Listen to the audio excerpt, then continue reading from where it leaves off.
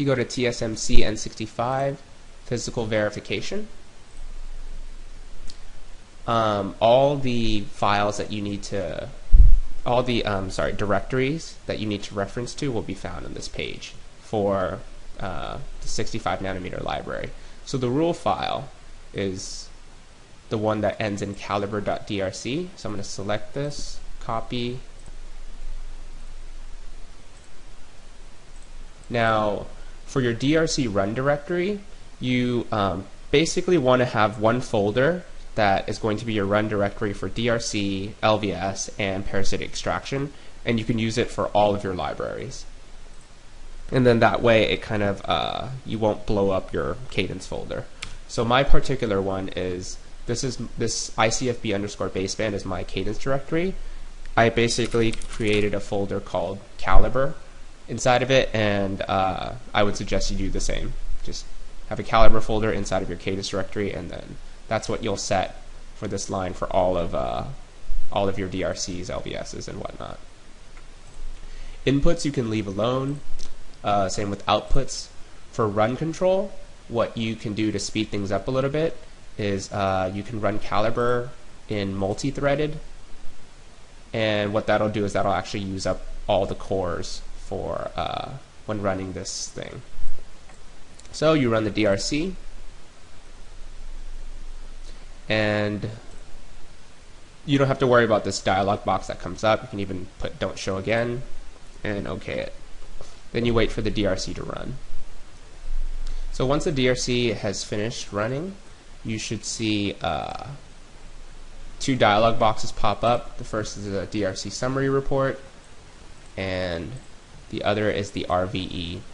Now, getting these kinds of errors, check m2.dn, these are density errors, and these are expected, and uh, you can actually ignore these. If you get only density errors, that actually means you pass DRC. If you get other kinds of errors like minimum area or minimum spacing is off, that means that you did something incorrect.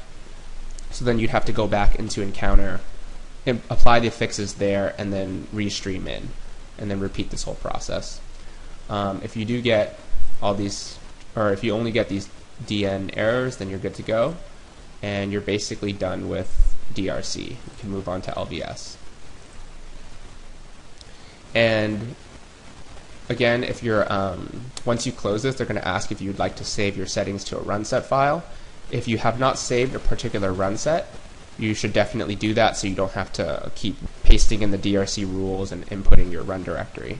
So I already have mine saved, so I'm going to click no. But you should definitely do that if you haven't done so. So before we run LVS, we actually have to do a little setup. You go into Calibre, Setup, Netlist Export. Then on the netlist export, we need to paste something into this include file line. And what we paste in, if you go back to the uh, wiki, there is a line right here that says, before running LVS, Calibre setup netlist export, and you want to paste in this particular line. So we're going to copy and paste that over.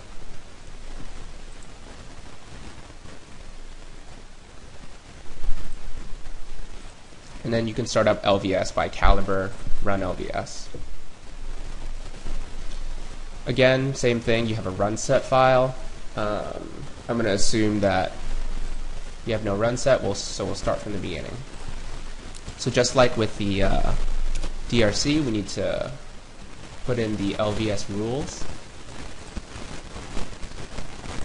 You can go to the wiki and obtain That should and it should end in calibre.lvs. And then also for the LVS run directory, I'm going to change it to my Calibre directory. Now for the input. Um, for the input, you leave this layout tab alone. And you, what you want to do is you want to go to the net list. So the LVS basically compares the layout versus the schematic. Now, we see that we have the layout right here, but there is no schematic. So um, what we would compare it to then is actually uh, a Verilog netlist. So this should be the netlist you saved at the end of the encounter flow. So I'm going to browse to that particular one for this block.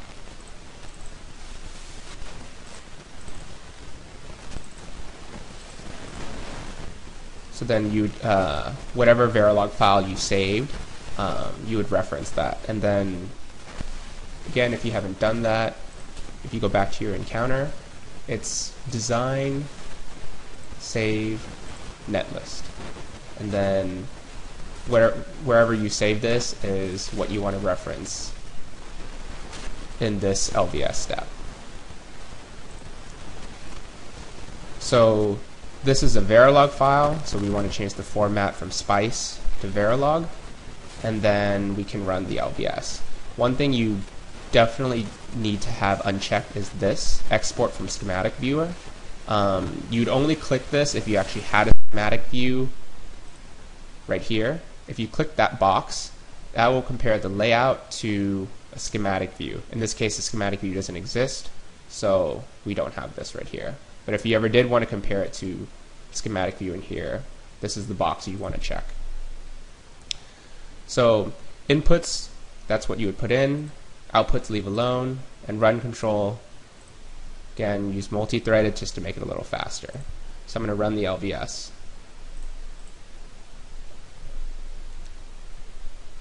Now, when we're running the LVS for this one, there actually is a specific uh, way to do way to do this.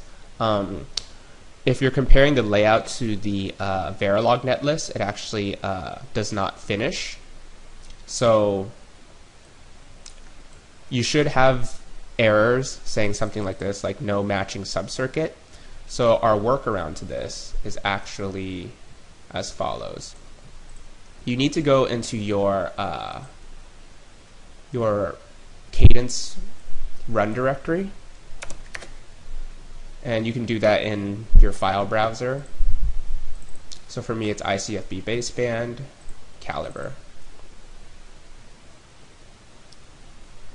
And then what you need to do is find the top cell name of your block. So my top cell name is usart reconfig underscore fft. And then the file you're looking for should be a spice file. So usart reconfig fft.sp. So you want to open that guy up. I'm going to move him off to the side. And you need to paste in um, this include line in order to work around this uh, this error right here. So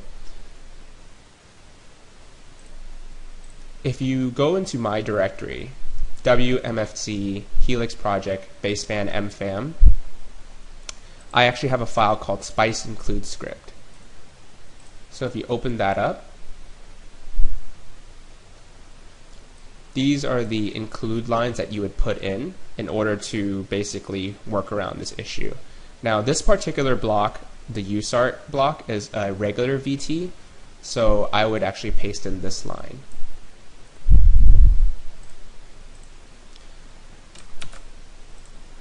If you're using, uh, if you're working on a block that's low VT, then you'd paste in this top line right here that ends in TCBN 65G plus LVT. Right, so once you've pasted this include line over, you'll save it. And then what you have to do is if you go back to your Calibre LVS, go back to the Inputs tab. Now for the netlist, uh, we originally have referencing this uh, Verilog file that you saved.